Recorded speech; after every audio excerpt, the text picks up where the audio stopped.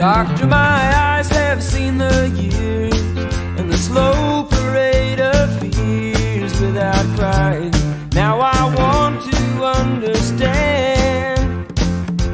I have done all that I could to see the evil and the good without hiding. You must help me if you can. Doctor, my eyes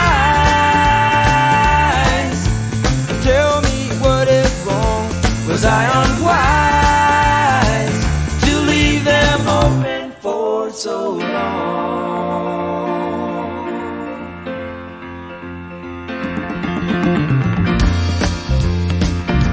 As I have wandered through this world, and as each moment has unfurled, I've been